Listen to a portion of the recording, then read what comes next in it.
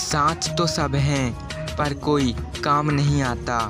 मतलबी दुनिया के मतलबी लोग बुरे वक्त में साथ नहीं देते और अच्छे वक्त में अपनी औकात दिखा देते हैं।